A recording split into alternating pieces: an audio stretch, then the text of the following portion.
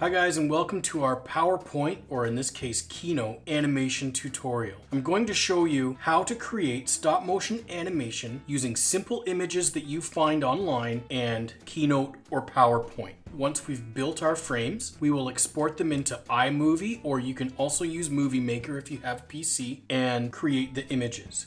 That part is actually very easy and very quick. The time consuming part is building the slides. So what we'll do is we'll start with a bunch of slides that'll look something like this.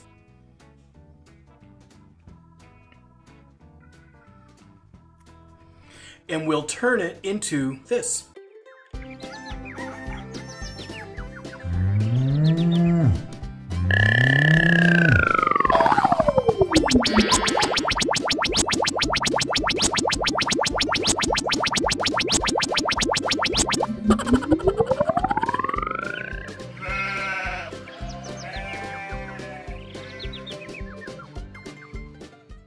So let's get started.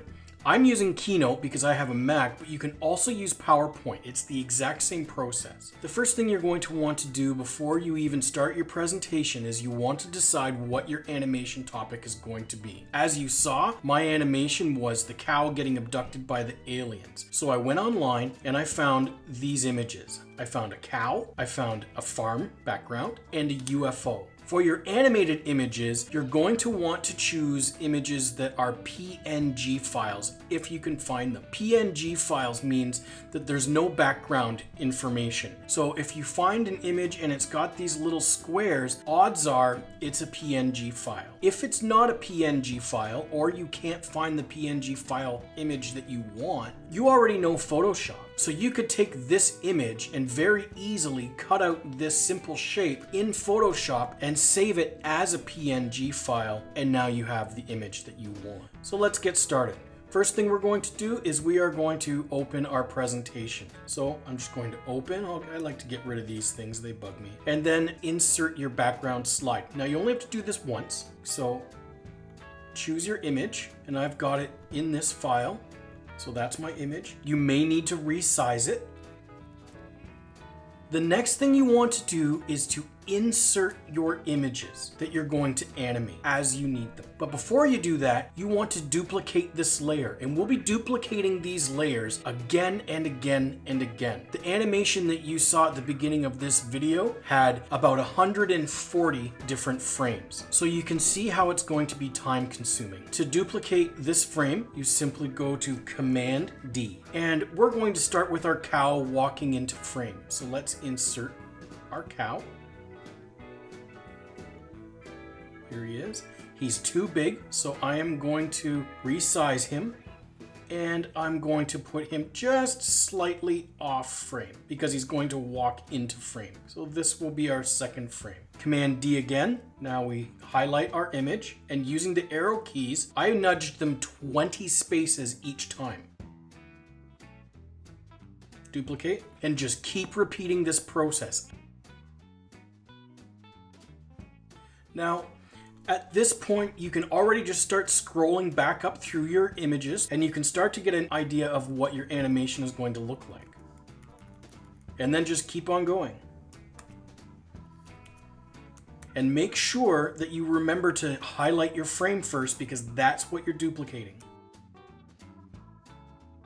Now you can decide when you want the other object to come in. On my original video, I had the cow almost center to the frame before the video came in. I'm going to change that this time and I'm going to start bringing the UFO in sooner. So I'm going to insert, choose my image, grab my UFO, and here you can see this is not a PNG file. So I'm going to have to quickly make an edit. So I'm going to delete this. I'm going to throw it into Photoshop, and then I am going to insert my PNG as opposed to the JPEG. And we want the PNG, we want the transparent background.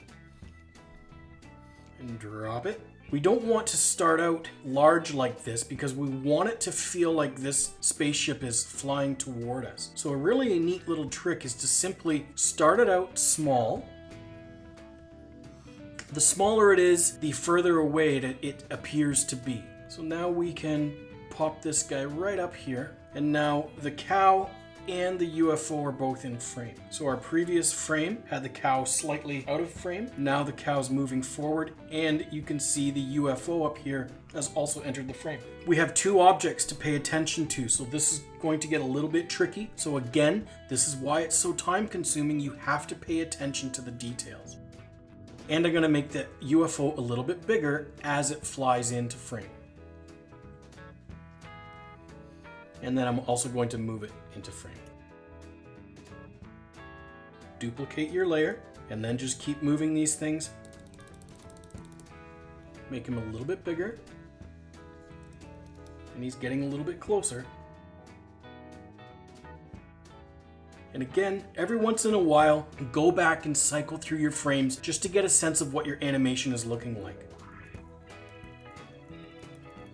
Another thing you can do is sort of make your spaceship look like it's also moving kind of vertically as well as horizontally. So you can put your cursor on the bottom corner and holding down the command button on your Mac, or I think it's control on your PC, that little double arrow will be curved and now you can pivot your UFO a little bit and change its location. So now the ship has kind of swooped in. So I've nudged it over to the right, but I'm not going to nudge it down any further. So now it's kind of swooped in and it's going to level off. I am going to make it a little bit bigger though still. And then we want to sort of center the cow and center the ship above him. I still want the ship a little bit bigger, so I'm gonna make it larger, but it doesn't have too much further to go. And then we'll put some expressions on the cow's face. Let's see how this is looking. So far, so good. Maybe our cow is about to realize something's not quite right, so let's give him some big eyes. So it's really simple. We're going to insert an oval. We'll fill it white. We'll give it a border, a line, and that's black. We'll make it about two, and let's bring it down. Make sure you hold shift. If you don't hold shift, you'll lose your dimensions. So hold down shift, and then drag the corner down, and make it small, whatever size you like. Right. And we'll drag it onto his eyeball. Now we want to make another one of those, so I'm just going to hit Command D, and I'll bring the other eyeball over here. You can nudge it into place wherever you want it. And he needs pupils, so we're going to do this again. We'll just Command D, we'll make it smaller still, and we'll fill, this time, black. Command D, and we will take our time and put it. And there's our surprised cow. So let's make our cow look up. Click one pupil, and then holding down shift, click the other one, and then you can nudge them up. Now we can have our cow look back at us again, highlight both, nudge them back down. Let's make them blink a little bit. So we'll remove the pupils, just highlight them and delete them. We're going to add a line. This is really easy. You just add a little line like that, Command D. Now we'll hold that blink about two for two frames, and then we want him to open his eyes again. And then he's gonna blink a second time. Okay, so let's go back to here. Now our ship is not moving at this point. We're only looking at his eyes moving. So we're gonna Command D. We've just doubled this frame, but we're gonna drag this frame down to the bottom. So his eyes are open, he blinks, eyes are open. We'll do that again. Then we'll grab these two blinking frames, click one frame, hold down shift, grab another one, command C, and going down to the bottom, command V.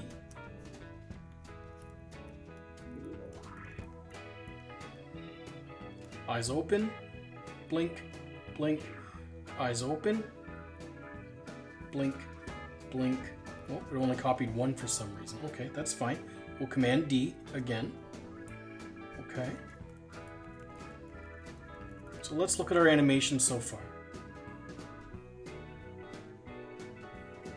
When he looks up, I feel like this should be a little bit longer. This looking up. So let's duplicate that twice. Now that'll hold that for three frames. The next thing we need to do is add the beam that is going to come out of the ship to abduct our cow. So we're going to add a shape, just like we did for the eyeballs. We're going to go to Insert, Shape, and this time we'll choose a triangle. Let's change our color So we'll fill. Maybe we'll change it to this yellow. And then we'll change our opacity. We'll slide that down to about 35%. Now this triangle is going to come from somewhere underneath the UFO. So we'll just position it. But now, of course, it's in front of the UFO, but that's fine. We're going to highlight the UFO. Then we'll go over to the Arrange tab and we will click Front. And that brings the UFO to the front. Now we click the triangle and we just start dragging it out little bit by little bit. Don't forget, duplicate the frame first. Then we'll drag out Try to keep it centered so it doesn't wobble around too much. And we just keep doing that until our beam is all the way down. So again, we'll get a sense of what this looks like. Now in my original, I also had his eyeballs wobbling around. This takes a long time, but it's really just a matter of choosing the little circles and then moving them incrementally at the same time. I'm not going to do it for this demonstration. Uh, it would just take too long, but you can really do anything if you're willing to take the time. Now, we have to make the cow fly upwards. But we can't do that because our beam is now in the way. If we try to click on the cow, it'll only highlight this triangle. So what we're going to do is we're going to cut out the triangle and then we'll paste it back in a little bit later on. It does take a little bit of time going back, but that's the only way we can really do it. So we're going to hold down Command and X, and that has now cut out that shape, beginning with this frame, number 59 for our animation. And we want to make the cow start flying upwards. We can make him smaller as well. It's exactly the same process that we've been doing. But there's one other problem too. If we start making the cow go upwards, his eyeballs don't go with him. So we have to highlight everything. all four of those little circles and the cow. Now, right click and click group. Now you've pasted, basically pasted the eyeballs to the cow. It's all one image, so now it will all move together. Okay, so let's start bringing the cow up. We'll go about 10 at a time.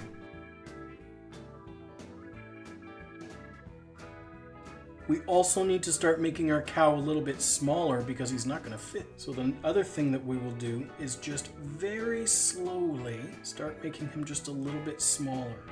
Now you're going to want to keep him in the approximately the same position, so you'll have to kind of match it up to the previous uh, frame.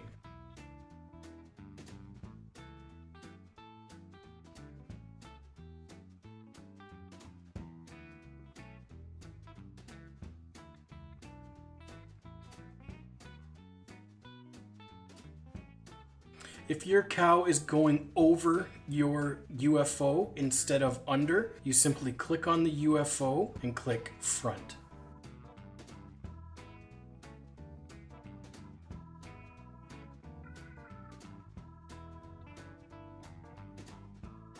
And now our cow is gone. You can actually delete him. You don't need him anymore. So let's have a look at our abduction so far. Okay, in comes our cow.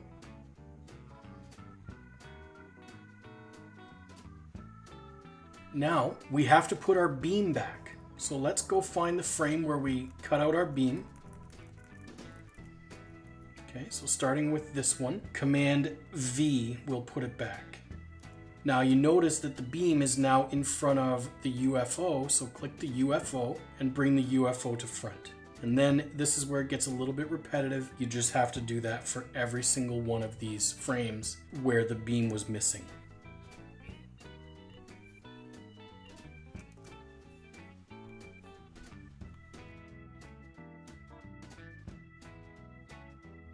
So now our cow is gone, our beam is there. Now we're going to reverse the process with the beam and bring it up.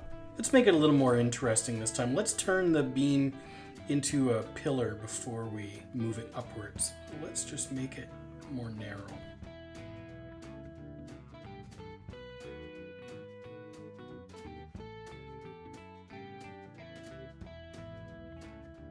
And at any point, you can start making it shorter as well. I'm not going to bring it in anymore, I'm just going to bring it up. So you can see we are approaching 100 frames, and this is not quite 30 seconds long.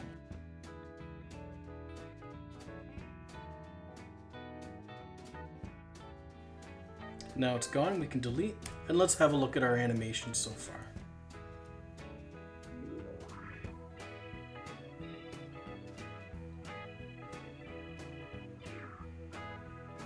And now, same as before, we just simply make our ship smaller and we push it out of frame.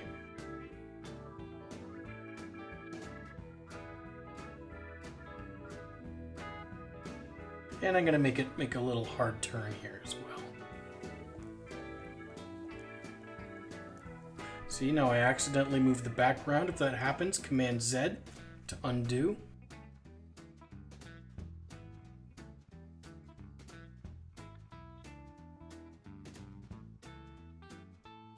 And that's it. That's our animation, about 131 frames. Let's watch it from the beginning.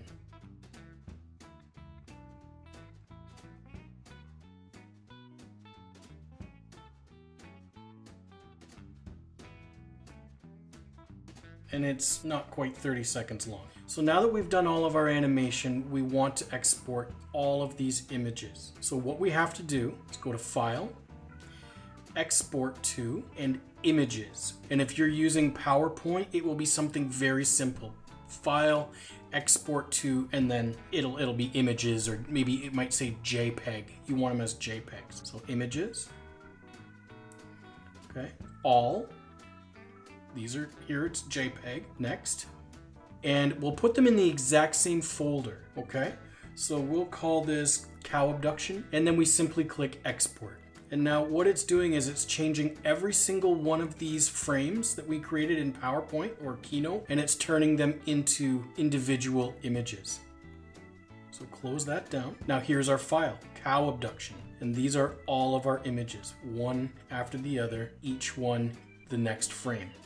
The next thing we're going to do is we're going to open in iMovie. So the first thing we want is to open iMovie. You can also use Movie Maker, create a new project, and we simply want to drag our images and drop them right down here in the timeline. Okay, so find your file, animation images. These are my images. Click the first one and then Command or Control A, that'll highlight all of them, and just drag it down right here. And you can see it's dragged all of those images. Close it up. And these are all your images in your timeline now. So now they're in iMovie. So if we hit play, some, you'll see a few things that we have to fix first. The first thing we notice is this. It's zooming in and out, and each one lasts for, it looks like, about four seconds. And that's way too long. So let's make some adjustments. The first thing, we don't want that zoom in and out. So making sure that all of them are highlighted, and you'll know they're highlighted because it's yellow so even if you just click one and then Command or Control A, now they're all highlighted. You go up here in iMovie to crop and fit. Okay, so now if you start, you'll notice that now it's not zooming in and out for any of these frames. But you can see down here, it's still each image is taking four seconds. So Command A, make sure everything is highlighted. And then we go up here to the eye, the little clip information. Click eye. And over here it says duration. And here we can see it's actually four seconds. So we're going to change that to the lowest possible setting, which is 0.1. So now you can see our time changed. Now let's click play and see what happens.